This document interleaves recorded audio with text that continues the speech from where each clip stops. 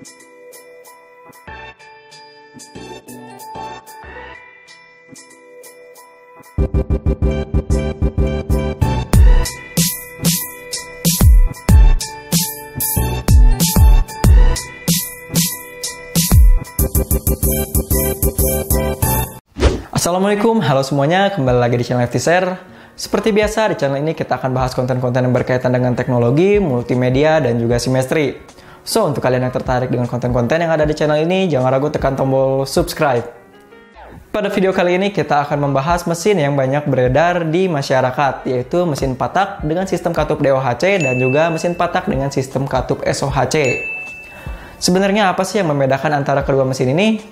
Di video kali ini kita akan bahas lebih mendetil mengenai kedua mesin ini. Tapi sebelum mulai, jangan lupa tekan tombol subscribe dan loncengnya karena hal tersebut dapat membantu kita membangun channel ini ke arah yang lebih baik lagi ke depannya. Oke, sekarang kita masuk ke pembahasan. Simak terus videonya sampai selesai.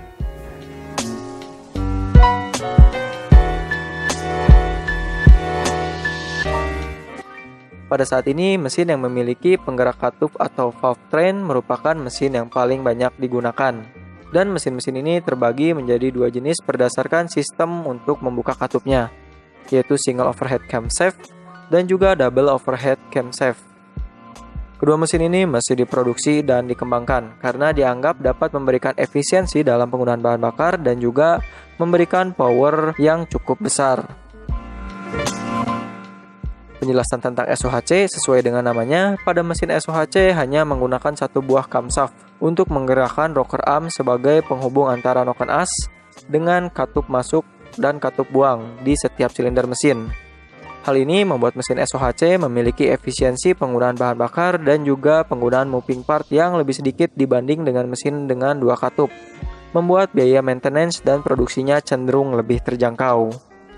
Namun karena mesin ini hanya menggunakan satu buah katup masuk dan juga satu buah katup keluar, besar jumlahnya udara yang masuk tidak maksimal.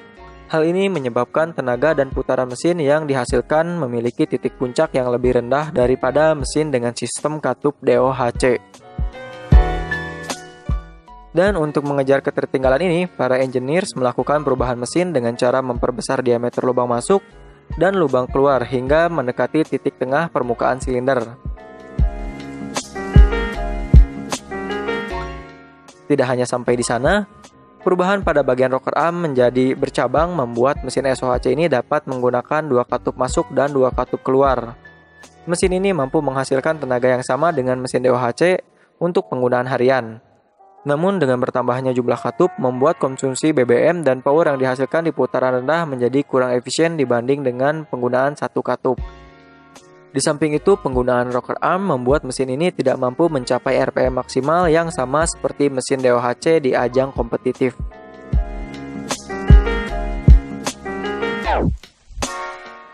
Pada mesin DOHC, mesin DOHC aliran udaranya lebih dimaksimalkan lagi dengan cara menggunakan dua buah camshaft untuk mengendalikan dua buah katup masuk dan juga dua buah katup buang dengan tujuan mesin dapat menghasilkan power dan RPM puncak yang lebih tinggi dibanding dengan mesin satu katup.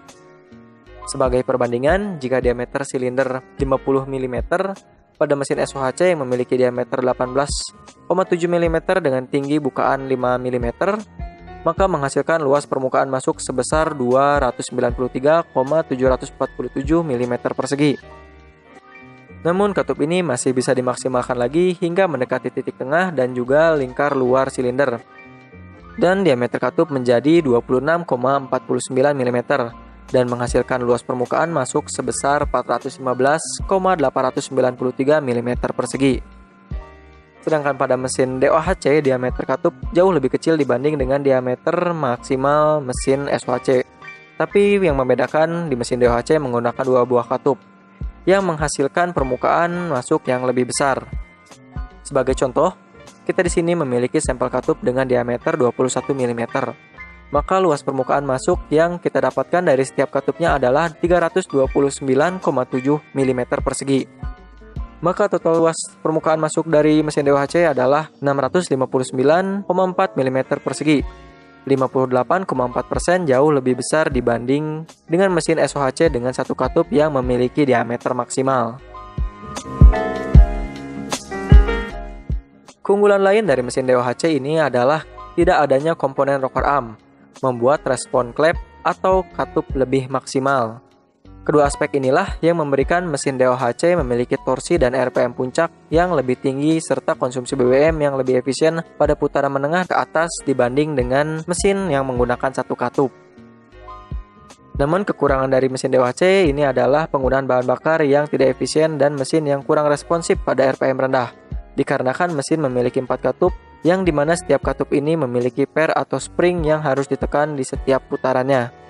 Ditambah, komponen-komponen lain seperti dua kamsaf beserta gear yang menyebabkan terjadinya lebih banyak gaya gesek. Hal ini menghasilkan kebutuhan daya yang lebih tinggi untuk menyelesaikan setiap siklus pada mesin Dewa HC ini. Nah, dari penjelasan tadi kita bisa menyimpulkan mengenai kedua mesin tadi, yaitu SOHC dan juga Dewa HC. Di mana untuk mesin Dewa HC itu bertujuan untuk mendapatkan power yang lebih besar, RPM yang lebih tinggi, dan torsi yang lebih tinggi. Sedangkan mesin SOHC adalah mesin yang bertujuan untuk mendapatkan efisiensi penggunaan bahan bakar, moving parts yang lebih sedikit yang membuat maintenance dan juga biaya produksi dari mesin ini jauh lebih terjangkau. Jadi dari kesimpulan tadi kalian bisa menyesuaikan dengan kebutuhan kalian. Kalian butuh kendaraan yang lebih efisiensi dalam maintenance dan juga penggunaan bahan bakarnya atau kendaraan yang memiliki power yang besar. Jika kalian ingin memberikan kritik, saran, dan juga pertanyaan, jangan lupa gunakan kolom komentar di bawah. Tekan juga tombol like dan share video ini kepada kerabat kawan kalian semua jika video ini bermanfaat. Tekan tombol subscribe dan loncengnya agar kalian dapat membantu kami membangun channel ini ke arah yang lebih baik lagi ke depannya dan memberikan informasi yang lebih berkualitas lagi. Saya Muhammad Karir undur diri, see you in the next video and thanks for watching. Assalamualaikum warahmatullahi wabarakatuh.